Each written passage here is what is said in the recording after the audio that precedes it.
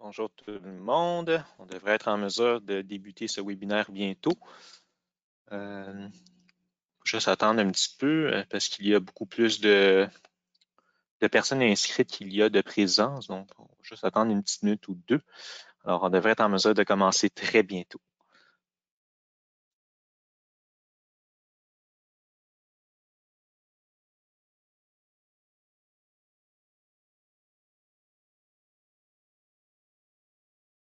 Oui, j'ai un commentaire, pas de son. Euh, est-ce que est-ce qu'on m'entend bien? Je vais m'assurer. Parfait, merci.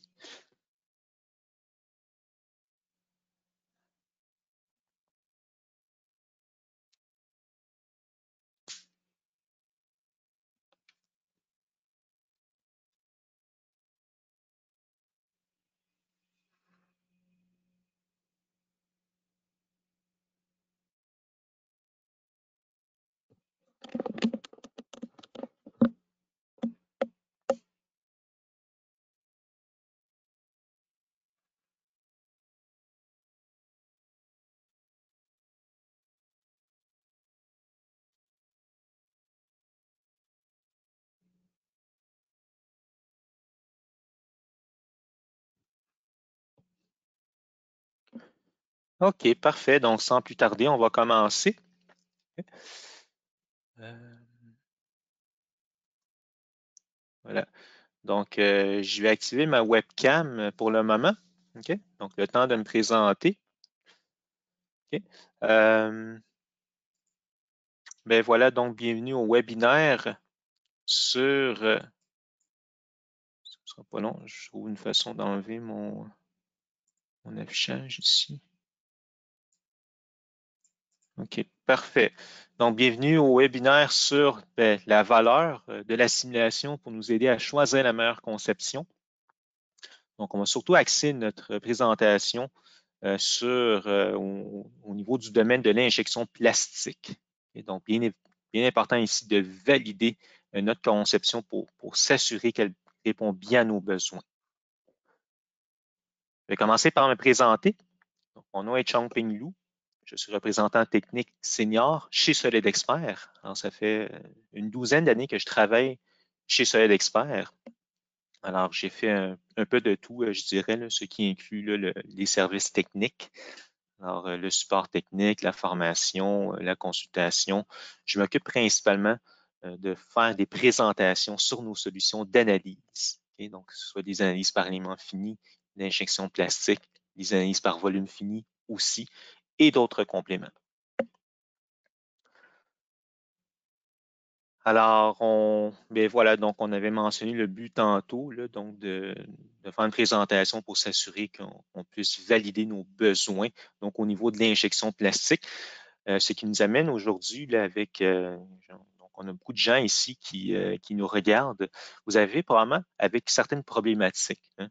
Donc, vous soyez des designers au niveau des pièces, peut-être au niveau des moules, peut-être qu'on a des moulistes ici aussi.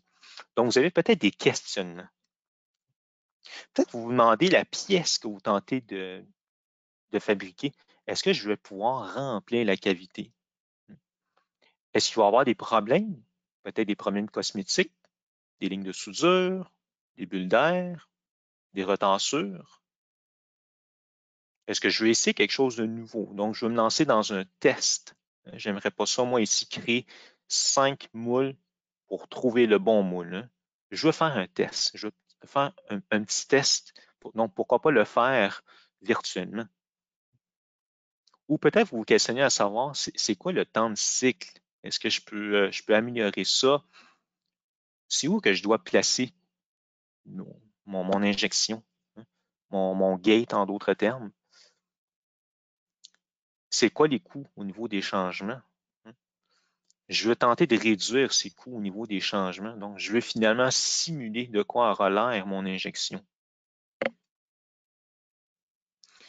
Alors, on vous offre notre solution SolidWorks Plastics. Donc, on a un, solveur qui va être en mesure de résoudre des, des problèmes au niveau de l'analyse par injection plastique. Un solveur adapté pour ce domaine-là. On a aussi la technologie au niveau du maillage pour, bien représenter la pièce. Hein. Euh, quand je parle de la pièce, je parle autant des pièces qu'on veut mouler, autant que du moule aussi. Et on a aussi des données techniques, donc des matériaux, ou sinon autrement appelés des polymères principalement. Alors, on va être en mesure de, pouvoir obtenir de l'information là-dessus euh, grâce à, certains partenaires de SolidWorks qui sont continuellement toujours en train d'améliorer euh, euh, leur base de données. Alors, ce qui nous amène à la question du jour, est-ce que nos pièces en plastique vont pouvoir être fabriquées? Alors, je vais vous présenter ici notre webinaire en trois sections.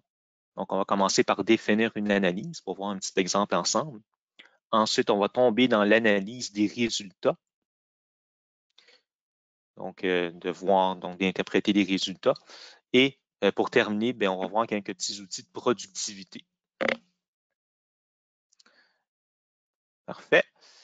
Euh, Bon, là maintenant, je vais mettre votre attention surtout sur, le, sur mon écran. Euh, juste m'assurer que tout va bien.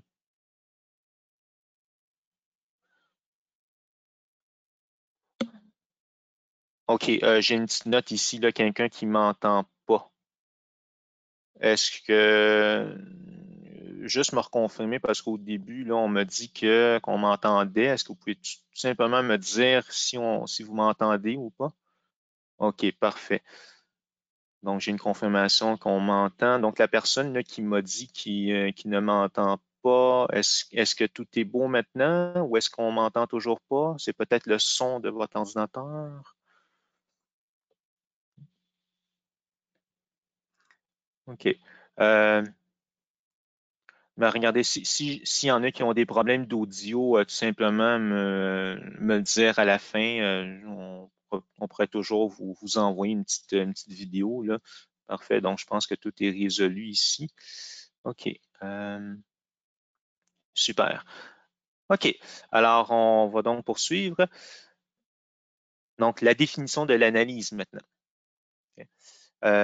oui, donc c'est des étapes c'est des, étapes structurées qui vont nous permettre de monter une, euh, qui vont nous permettre de monter un, test, donc un test virtuel tout simplement. Donc, allons-y avec SolidWorks. Donc, oui, euh, on va remarquer que SolidWorks Plastic s'est intégré dans SolidWorks. Et euh, ce qu'on voit ici, ben, c'est une boîte assez spéciale, hein, donc une boîte de Pélican et euh, pour ceux qui ont suivi nos webinaires euh, il y a quelques jours, ben, vous, euh, avez probablement déjà vu cette, conception-là qui fait partie de, de, notre, de notre design du projet ventilateur auquel nous avons participé pour aider les, évidemment les gens atteints de la COVID-19. Donc, on a créé un, respirateur, un, ventilateur pour venir en aide. Alors, ce boîtier-là fait partie de la conception et euh, aujourd'hui, ben, on, va, en faire une analyse d'injection plastique là-dessus. Alors, je vais analyser la pièce du couvercle, donc la pièce du dessus qui est ici. Alors, euh, bien évidemment, on, veut toujours, euh, comment je pourrais dire, quand on fait une analyse, on ne veut pas tous les détails de A à Z. Hein. donc, les, logos, les, écritures, les, détails non requis, les détails non critiques puis on va enlever ça, on va simplifier. Ça va nous permettre de simplifier finalement l'analyse en question pour parcourir à travers plus rapidement, plus facilement. Alors voilà ce que je vais analyser ici. Euh, ben voilà ce que ça me demande au niveau de la création de l'étude. Donc, est-ce que je veux choisir un type de, processus d'injection? Donc, dans mon cas, ça va être un matériau unique, mais ça peut être assisté, ça peut être une co-injection aussi, ça peut être une bi-injection. Donc, par la, suite, ben, je crée mon analyse. Alors, aussi simple que ça, je suis toujours dans SolidWorks ici, je suis toujours dans, mon environnement de SolidWorks, donc je suis toujours prêt à faire des changements si nécessaire dans le modèle 3D. Donc, j'ai la cavité en question qui est ici. Alors, très simple, donc je suis l'ordre tel quel, c'est très structuré ici, très facile à comprendre. Donc, j'insère mon point d'injection. Donc, voilà mon premier questionnement, hein, où est-ce que je vais mettre mon injection. Ben, c'est là que je vais pouvoir me, permettre de faire des tests. Hein. Je le veux-tu ici, ici, ici, ici? Ben, allons-y, faisons le test. Hein. on n'a rien à perdre ici. On a la solution. On va se lancer dans un processus de test pour vérifier à quel point c'est bon ce que je fais ici. Donc, si j'utilise ces paramètres-là pour mon injection, si j'utilise le modèle Tenkel avec ce design-là, avec cette épaisseur-là, avec les détails qu'on a ici, hein, ou euh, plus tard avec les matériaux que je vais utiliser avec les polymères. Donc, il s'agit ici de plusieurs tests que je vais effectuer. Hein. Euh, donc, je vais compléter ici mon analyse avec la direction de la force de fermeture. Donc, c'est déjà dans la, bonne direction. Donc, il a déjà détecté le, plan de dessus euh, pour déterminer euh, la direction au niveau de la force de fermeture. Ensuite, je vais procéder au maillage, donc vraiment des, étapes très, très structurées. Donc, je vais être en mesure ici de contrôler la taille du maillage. Donc, ça va me donner un petit estimé là, sur combien d'éléments il va y avoir dans mon maillage. C'est quoi le maillage? Hein? Peut-être pour, ceux qui, se le demandent. C'est donc une analyse, euh, souvent des analyses par volume fini, par élément fini. Injection plastique, c'est toujours dans le même principe. Je décortique le modèle en plusieurs petits éléments. Euh, puis ensuite, je roule un calcul qui va, me permettre d'obtenir des résultats là-dessus. Donc, on voit que le, logiciel est capable ici d'aller identifier des régions avec, euh, avec une taille plus petite parce qu'il voit des détails. Ce qui inclut aussi des détails, par exemple, là où j'ai mis mon point d'injection. Hein. En fait, comme j'en ai mis deux ici. Donc, le logiciel, lui, est capable d'aller euh, peaufiner, donc il est capable d'aller voir plus loin et euh, un maillage approprié en fonction de ce que je fais dans mon analyse. Bien sûr, il est possible aussi d'aller peaufiner, donc d'aller raffiner localement aussi, si je le désire. Ensuite, ben, je vais poursuivre. J'ai, euh, par exemple, un polymère à définir. Je peux peut-être me questionner ici sur qu'est-ce que je devrais utiliser comme polymère. Donc, tout ça, c'est classé par famille, par fabricant. Alors, euh, des heures de plaisir ici à aller faire des tests, mais je cherche peut-être, moi, des données plus spécifiques. Hein. Peut-être ici, là, moi, euh, j'aimerais ça utiliser un polypropylène, un polycarbonate, un ABS. Alors, je vais pouvoir lancer une recherche tout simplement et même peaufiner ma recherche en rentrant des critères plus spécifiques. Est-ce que je veux des données de température spécifiques, température de transition, température d'éjection? Donc, je vais être en mesure ici de peaufiner ma recherche hein, pour ne pas me retrouver là avec beaucoup euh, de, données. Donc, comme ça, je vais pouvoir aller chercher le matériau qui m'intéresse, qui remplit mes conditions. Par exemple, ici, un matériau générique de polypropylène. Donc, je vais être en mesure d'aller chercher par la suite les caractéristiques là-dessus, donc ce qui inclut les, les PVT, la viscosité, etc. Alors voilà, donc j'y vais avec ce, polymère-là. Donc, on a plus de 4000 polymères de, données techniques dans la base de données et, à chaque année, on m'indique qu'il y a toujours plus de données qui s'ajoutent. Ensuite, je vais donc compléter mon analyse avec des réglages. Donc, on a des réglages à différents niveaux, dépendamment de ce, qu'on fait. Donc, dans mon cas, au niveau du remplissage, qui est une des phases de, l'injection plastique. Donc, je vais pouvoir, par exemple, contrôler le temps de remplissage. Donc, ici, on, m'estime un certain temps, mais je peux aussi le forcer à avoir un temps spécifique. Température de la matière, température du moule, pression d'injection limite. Donc, ce sont des caractéristiques qu'on va pouvoir utiliser ici. Oui, euh, je vois, venir peut-être vous questionner à savoir, bon, mais qu'est-ce que, basé sur quoi je devrais faire mes choix? Hein? Euh, bien évidemment, on a des, bases de données de, machines aussi qui vont, qui vont venir en aide. donc, je peux bien évidemment faire des recherches, hein, la, de la machine que je possède, dépendamment de la machine que j'aimerais utiliser, pour aller chercher plus de données techniques, donc des caractéristiques là-dessus. Voilà. Donc, de cette manière-là, ben, je vais être en mesure de définir mes réglages. Et c'est à peu près ça. Donc, ensuite, on va être en mesure d'exécuter l'analyse. Donc, dans ce cas-ci, je vais, je vais obtenir des résultats au niveau du, remplissage. Moi, ce qui m'intéresse à première vue ici, c'est comment est-ce que le fluide, donc en fin de compte de, la, matière euh, plastique injectée, comment, est-ce qu'elle va remplir la cavité du moule? Donc, on voit qu'au fur et à mesure que, les calculs avancent, hein, les, résultats s'affichent tranquillement. Donc, j'ai déjà une petite idée là, au niveau du temps de remplissage, euh, puis je peux aller chercher là, les, autres données, la, pression en fin de remplissage, et ainsi de suite. Donc ça, c'est le temps d'aller prendre un petit café, de prendre une petite pause, puis on va revenir, d'aller dîner. Hein. puis ensuite, on va se retrouver avec des résultats à l'écran. Alors voilà, donc ça achève. Donc on, calcule ici avec un, solveur qui est très, très puissant, qui est amélioré année après année. Euh, qui prend en charge bien évidemment les, euh, les multiples. Si vous avez un, possédez un ordinateur à cœurs multiples, c'est à votre avantage aussi. Alors, on a ici pour commencer euh, des. Euh, ben, en fait, comme le, résultat est calculé et on a des recommandations. Donc, on va être en mesure ici d'être accompagné par des notes pour bien valider la, conception. Donc, ce qui nous permet donc de compléter la première étape de créer l'analyse. Alors voilà, maintenant, on va se lancer dans les résultats de l'analyse. On va regarder les résultats, on va les interpréter, on va regarder qu'est-ce qu'on peut aller chercher comme données grâce à SolRix Plastics. Parfait.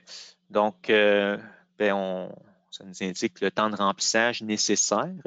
Si on trouve que c'est élevé, bien évidemment, on peut changer des paramètres. Hein. C'est là qu'on se met à changer, à faire des modifications faire un deuxième test, un troisième, un quatrième s'il le faut. La pression en fin de remplissage. On a des notes aussi ici, hein, euh, les recommandations, comme je le disais tantôt, ça, ça, s'affiche tout de suite. Ça, ça, aide beaucoup à l'utilisateur. peu importe votre niveau de connaissance au niveau de, l'injection plastique, euh, ça nous donne des petites notes, hein, des petits avertissements si nécessaire. Hein. par exemple, si on a des problèmes au niveau des forces de fermeture, par exemple, il va nous l'indiquer. Euh, sinon, par exemple, il dit, bon, mais cette pièce peut être remplie avec succès avec une pression d'injection de 5 mégapascales. Mais c'est super. Hein? Donc, euh, ça dit que la pression d'injection requise pour le remplissage est inférieure à 66% de la limite de pression d'injection spécifiée. Oui, effectivement, on veut, on être en dessous. Hein? Puis euh, finalement, qui veut être à la limite? Hein? On pense à notre moule qui nous a coûté euh, possiblement une coupe de centaines de milliers de dollars. Hein. On veut pas, on n'a pas le droit à l'erreur ici. Alors, euh, voilà, donc des recommandations ici qui vont nous aider aussi à lire les, résultats. Comment lire le, résultat de pression en fin de remplissage, le temps de remplissage. donc, c'est puis j'ai aussi des animations. Donc, si je l'anime, mais ça me dit clairement comment est-ce que l'injection se fait, comment est-ce que la cavité se remplit? Est-ce que je vais être en mesure de remplir ma cavité au complet? Hein? Est-ce qu'il y a une situation d'arrêt court? Hein? Est-ce qu'on a une situation de short shot, peut-être? Euh, est-ce qu'on a des, euh, des, températures élevées en fin de refroidissement? Hein?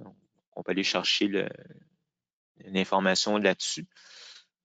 Donc, pratiquement dans tous les graphes, je peux aussi contrôler les valeurs minimales, maximales. 150, c'était ma valeur maximale, mais par exemple, affiche-moi tout ce qui est 120 ou plus. Donc, il va m'indiquer clairement ici en rouge. Donc, je peux jouer avec les échelles facilement comme ça pour aller mieux euh, faire afficher mon, résultat que, je, veux regarder. Donc, plusieurs résultats qui sont ici pour vous, faciliter la tâche. Euh, euh, ben justement, on a ici la facilité de, remplissage. Hein. donc, ça me dit que c'est très facile de remplir cette cavité-là. Donc, ça, ce sont des résultats. Hein. donc, la pression, la température, le temps. Hein. ou peut-être qu'on se questionne à savoir, bon, est-ce qu'il va y avoir présence de bulles d'air? Oui. donc, j'ai des points ici qui représentent les bulles d'air.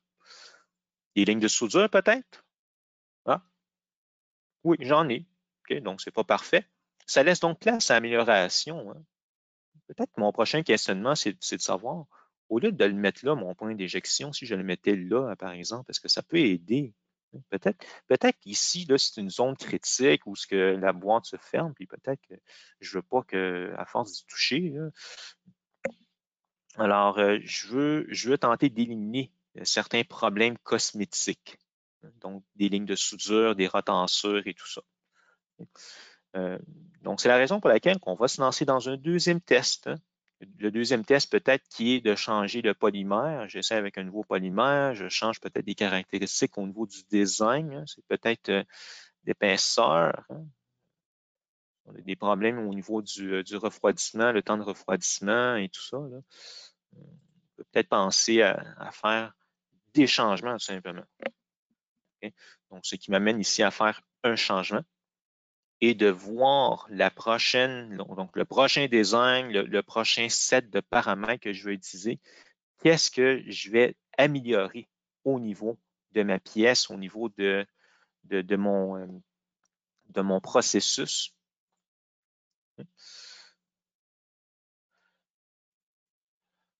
Alors voilà, donc ici, on va faire afficher les résultats au niveau du remplissage. Et on va encore passer en revue certains résultats. Donc d'abord, l'animation de, l'injection. Qu'est-ce qu'on peut en retirer avec ça là-dessus? Ah, j'ai réussi à faire tasser des lignes de soudure dans, des endroits que je ne voulais peut-être pas, par exemple. Donc, ça, c'est super. Euh, je peux donc poursuivre aussi hein, pour tenter d'améliorer le tout le plus possible.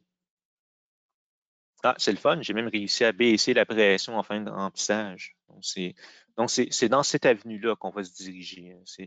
je fais un test, ça ne me donne pas ce que je veux exactement. Je fais un prochain test, est-ce que j'améliore la situation? Et ensuite, est-ce que j'améliore la situation? Je la détériore, OK, parfait, je vais revenir en arrière, puis je vais faire un prochain test. Et donc, c'est comme ça qu'on va le faire. Donc, on couvre toutes les, phases.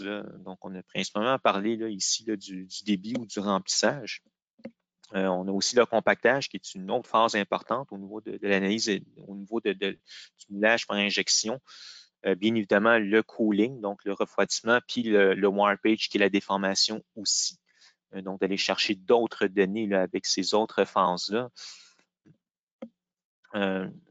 dont euh, le, fameux retrait volumique hein, en fin de compactage, hein, ou sinon autrement appelé le volumetric shrinkage. Je pense que ça parle beaucoup là, pour. Dès que j'ai dit shrinkage, je pense que ça, ça, a allumé pour beaucoup de gens. On s'entend que dans l'industrie, beaucoup de gens utilisent des termes en anglais ici, euh, des contraintes résiduelles. On va aller chercher aussi euh, le taux de cisaillement. Donc, voilà une panoplie ici de résultats qui vont tout simplement vous aider à, aller faire votre validation au niveau de, votre, euh, votre procédé, donc, euh, ou, en d'autres termes, au niveau de votre design, au niveau de la pièce. Hein. je, je, veux m'assurer que la pièce que je vais sortir du moule a des bonnes caractéristiques. Hein. je ne sors pas une pièce avec, des, avec beaucoup de défauts qui vont nuire au fonctionnement. Et au niveau du warpage, donc, d'aller chercher ici la forme, par exemple, de, la, de la, déformée que ça crée. Donc, à l'échelle 1 pour 1, ben, c'est ça que ça donne. Mais à une plus grande échelle, hein, voici ce que le modèle tend à faire. Et donc, ça, c'est dû au fait qu'on ajoute les déformations, le refroidissement, la phase de compactage. on combine tous les effets ensemble, puis la, pièce va se mettre à, à warper, donc à, avoir une certaine forme de déformé. Donc, ça, c'est vraiment très, très recherché comme, comme genre de, de résultat. Euh, ou sinon, des retensures. Hein. Là, je dis retensure, ça parle peut-être pas, mais on va parler de sync marks. Ah, je pense que ça, ça parle beaucoup plus. Hein. Donc, d'aller chercher les sync marks. donc, c'est un autre type de défaut euh, au niveau des, euh, des, problèmes cosmétiques, si on peut dire ça comme ça. On peut même aller mesurer la profondeur. je promène mon, curseur et je vais être en mesure d'aller faire des mesures, faire des comparaisons pour aller voir la profondeur justement de ces retensures ou de ces sync marks. Alors voilà, donc ça, c'est euh, des données hein, qu'on va aller chercher. Ce sont des résultats Ça, va vous aider au niveau de votre conception, donc que ce soit au niveau de la pièce, que ce soit au niveau du moule. Hein. On va aller chercher des caractéristiques là-dessus. Euh, et pour terminer, bien, on a les outils de productivité. On va en montrer quelques-uns. Donc, des outils faits pour accélérer votre travail, bien évidemment. Donc, c'est bien beau d'aller chercher des résultats et tout ça. Maintenant, comment est-ce que je peux faire pour une situation comme celle-ci, un, moule de famille? Hein? Moi, je me questionne à savoir le canal qui est ici. Hein? Comment est-ce que je devrais le comment est-ce que je devrais le créer? C'est quoi les caractéristiques que je devrais mettre là-dessus? Hein? Oui, bien évidemment, je peux partir avec une esquisse. Une, esquisse, comme, comme quoi on est déjà très, très habile avec. Euh, puis ensuite de définir des paramètres là-dessus. Mais sinon, hein, si on n'est pas habitué avec les esquisses, c'est pas grave. Hein. On a ici des guides. Et donc, de le chef va être en mesure de me faire, de me proposer euh, un canal d'alimentation. Hein. Donc, je fais tout simplement spécifier où sont les, euh, les points d'attache. Et donc, lui me propose quelque chose par la suite. Puis oui, je vais être en mesure d'aller définir des caractéristiques là-dessus aussi. Donc, c'est ça le grand but, c'est de demander donc au logiciel de m'aider, donc de me guider là, à, créer ici un, canal d'alimentation. Parce que peut-être que mon grand but dans tout ça, c'est de me questionner à savoir, bon, c'est quoi, c'est quoi les, données euh, au niveau des, euh, des épaisseurs, euh, du diamètre, des longueurs, donc, c'est là que je vais faire appel à son Simulation de me proposer des choix. Donc, ça, je vais être en mesure de le faire grâce aux outils d'équilibrage de, canaux. Puis, euh, donc ça, ça fait partie d'une petite productivité. On verra par la suite euh, ce que ça va donner. Je vais commencer d'abord par vous montrer des, petits résultats au niveau, ben, enfin, comme globalement, ce que ça donnerait l'écoulement euh, pour ces quatre cavités-là ici. Mais ça, c'est un outil de productivité hein, parmi les, quelques outils euh, qu'on a. mais il y, en, a beaucoup plus des outils de productivité. On peut parler aussi du, Batch Manager. Donc, on peut peut-être se monter une série d'analyses ici qui va nous permettre de, de partir le, tout ensemble. Donc, par, exemple, je me monte une, dizaine, une quinzaine d'analyses, puis je demande au logiciel, bon, mais roule-moi toutes ces analyses-là pendant que je m'en vais dîner, pendant que je quitte pour la journée, que je reviens le lendemain. Donc, je lance ça en batch, en lot. par exemple, je me, je, me, pose comme question, bon, je veux faire un test avec cinq polymères différents. Je veux savoir c'est lequel qui est le meilleur. Hein. Ou sinon avec des injections, avec des, euh, localisations différentes. Hein. Alors, euh, ou peut-être avec des designs tout simplement différents. Et donc, l'idée ici, c'est de ne pas avoir à, faire le tout manuellement. Donc, de, toujours faire des, clics, de, changer, d'attendre que l'exécution se termine, puis ensuite de, rouler euh, l'autre analyse. Donc, de demander au logiciel, euh, fais-moi-le en lot, tout simplement. Puis, euh, ben c'est aussi ça le but de l'analyse, hein. c'est de vous permettre de raccourcir le, temps que ça prend pour sortir des résultats. Ce qu'on fait ici, c'est de valider la conception. Donc, je veux, m'assurer que j'ai tous les outils euh, pour, pour valider euh, ma conception. Puis, de le faire virtuellement, mais ben, c'est une solution gagnante. Hein. Donc, pensez à votre moule qui vous coûte peut-être cher. Euh, là, ici, je suis en train d'activer des résultats en passant. Euh, alors, euh, un moule, ça peut coûter en centaines de, milliers de dollars, plus ou moins. Hein. Je sais qu'il y a des moules qui peuvent coûter le, million aussi, ou même plus. Donc, une bonne idée, hein, peut-être, de, valider ça avant de, de se lancer dans des prototypes à ne plus en finir. Alors voilà. Donc, on, veut s'assurer d'avoir un écoulement approprié. Je ne veux pas qu'une pièce, une cavité se remplisse trop vite par rapport aux autres. Hein. On sait ce que ça peut entraîner comme conséquence. Hein. Alors, euh, j'essaie d'équilibrer le, tout pour éviter des défauts additionnels euh, ou tout simplement pour réduire euh, le, temps de cycle. Hein. C'est surtout aussi pour ça Alors, c'est ce sont des outils de productivité, tout simplement, faits pour améliorer le, le, le, travail. Voilà, donc on sera parvenu ici à créer cet équilibrage de canaux, tout simplement avec une fonction qui va, le shell va me questionner à savoir, bon, mais c'est quoi le, le, diamètre maximum permis, le diamètre minimum permis, et ensuite, on demande au logiciel, ben, roule-moi un calcul, puis trouve-moi, le, équilibre-moi le système du canal d'alimentation. de cette manière-là, ben, je vais pouvoir équilibrer mon, injection pour tenter de remplir toutes les cavités à peu près en même temps. Puis je peux bien vous en montrer encore plus là, des, euh, outils. Euh, on va se contenter d'un petit webinaire ici. Euh, alors, euh, comme conclusion, bien, on a redéfini une analyse euh, d'injection plastique. donc, on a vu que c'est très, très simple, des étapes très structurées, et on suit l'ordre du haut vers le bas, on ne peut pas se tromper. c'est intégré dans SolidWorks aussi. Donc, aucun problème ici là, à aller faire des changements, donc de faire des va-et-vient sans se casser la tête là, avec des changements de fichiers et tout ça. on a aussi une base de données techniques au niveau des, matériaux, beaucoup de, polymères de disponibles. Des résultats, ben, c'est vraiment très simple. On va aller chercher euh, des résultats là, qui couvrent tous les domaines, là, donc que ce soit au niveau de, du remplissage, le compactage, euh, la déformation et même du refroidissement. Euh, on aller chercher toutes les caractéristiques, la pression, la température, euh, de même que certains problèmes cosmétiques, est-ce qu'ils vont, avoir formulation de bulles d'air, des lignes de soudure, des sync marks, des retensures.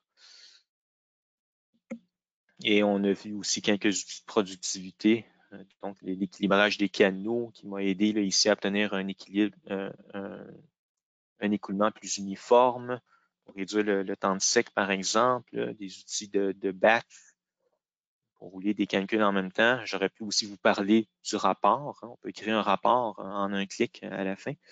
Donc, il me résume tout ce que j'ai fait dans mon analyse. Alors, c'est euh, c'est des outils là, pour vous rendre meilleur dans votre travail, tout simplement. Donc, vous rendre plus productif. On peut peut-être se demander comme question, quels sont les bénéfices de faire de la simulation dans le domaine du moulage par injection c'est très simple. Donc, c'est pour prédire et éviter les défauts de fabrication du moulage par injection plastique. Donc, c'est vraiment un des grands buts. Hein. Je, veux tester, hein. je veux voir euh, qu'est-ce qui se passe si, mon moule serait comme ça.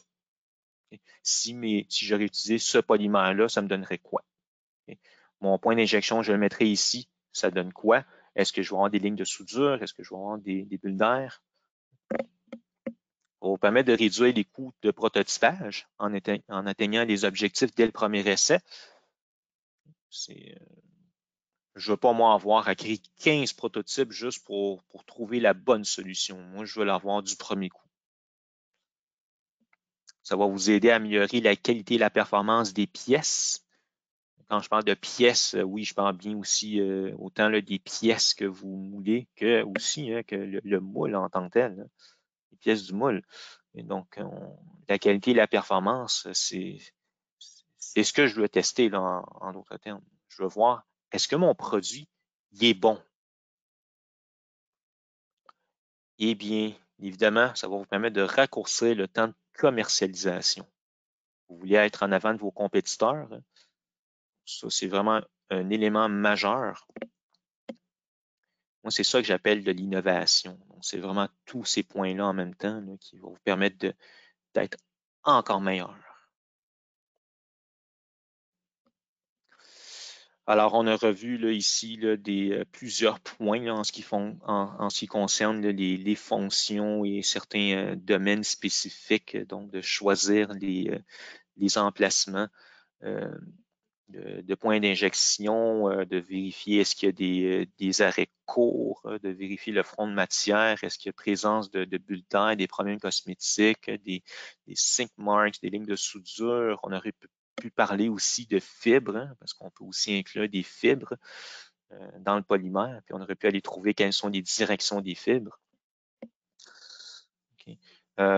aussi, donc au niveau des canaux, si on a des moules de famille, par exemple, donc la possibilité d'équilibrer les, canaux. On aurait pu parler d'insert aussi, d'injections multiples. Euh, aussi la possibilité d'utiliser des, des, valves de contrôle, puis aussi une, une, analyse assistée par le gaz. Le warpage, on a vu un exemple là-dessus. Euh, puis évidemment, le, le, côté refroidissement aussi, là, ça fait partie là, de, nos, de nos solutions. Donc, d'utiliser ce qu'on appelle des lignes de refroidissement, d'aller plus en détail dans le, dans le côté thermique euh, de tenir compte des, euh, des et bubblers, donc des, chicanes et tourbillons.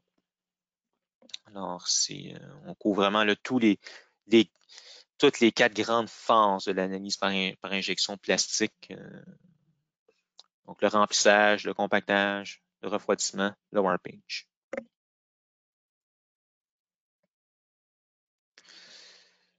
Alors, je vous dis merci d'avoir regardé ce webinaire. Vous avez des questions? Bien, vous pouvez nous écrire tout simplement. Alors, on a ici un courriel qui prend toutes les questions. Euh, donc, info en commercial solidexpert.com. Donc, mon nom encore, c'est Lu. Euh, je vais aussi regarder dans la liste ici pour voir s'il y a quelques petites questions. Euh, puis ensuite, ben, le reste, ben, on, on s'entend là-dessus. Euh, s'il y a d'autres questions, bien, on va vous, euh, on va vous, vous revenir là-dessus. Là. C'est pas parce qu'on ferme le webinaire qu'on ferme les, les, la séance de questions. Donc, je vais attendre un petit peu là, ici le temps de voir s'il des questions. Je vais m'assurer aussi là, que si vous êtes en train de taper quelque chose, euh, donc de vous laisser le, le, temps de finir vos phrases.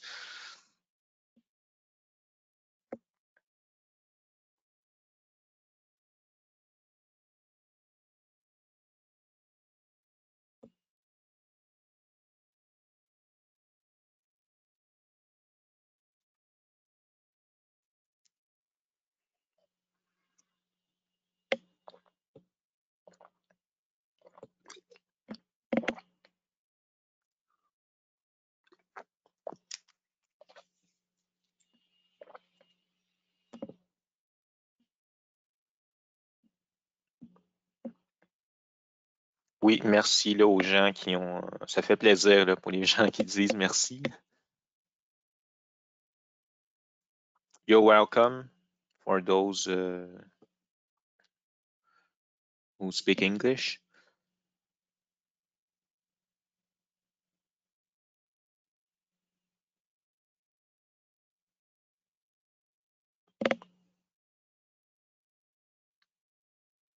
Ça semble être super jusqu'à présent. Donc, je vais quand même rester encore un tout petit peu le temps de, de, voir s'il y a d'autres questions. Oui, donc on en a une ici.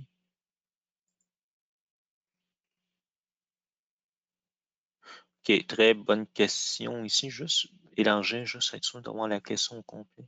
OK, parfait. Donc, on a une question ici. Est-ce est que le procédé d'exclusion pourrait être envisagé? OK. Euh, la réponse courte, c'est non. C'est pas un pas un procédé d'extrusion qu'on tente de simuler ici. Donc, c'est une injection plastique euh, au niveau de l'écoulement de, la matière plastique euh, qui pourrait possiblement être une partie du, du, procédé complet d'extrusion. Donc, le, procédé d'extrusion, il est plus, euh, il, il, couvre beaucoup de phases. OK? Euh, on a aussi une, solution flow simulation qui va couvrir certaines phases. Donc, euh, ça serait peut-être à venir, je dirais, on pourrait peut-être vous, revenir là-dessus avec une solution plus appropriée pour euh, aller voir plus en détail un procédé d'exclusion.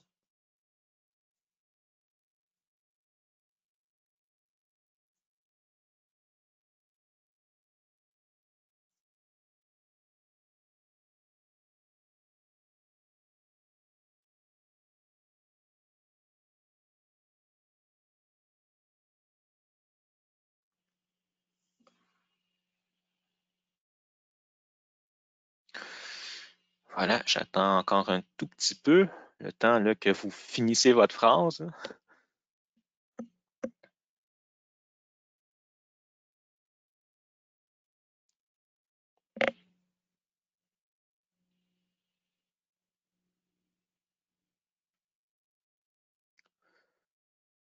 Ça semble être beau, donc j'attends des dernières petites secondes pour euh, que vous, êtes en train de finir votre phrase. Sinon, ben, je vous rappelle ici, là, info à solidexpert.com.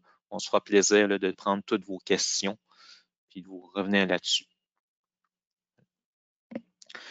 Parfait. Donc, euh, je vous dis merci euh, pour d'avoir regardé ce webinaire. on, a encore une série d'autres webinaires d'autres, euh, ben, certains organisés par Solid Expert que je vous invite à, regarder, d'autres aussi organisés par SolidWorks. Voilà. Donc, on... merci encore. Donc, on se retrouve euh, à la prochaine.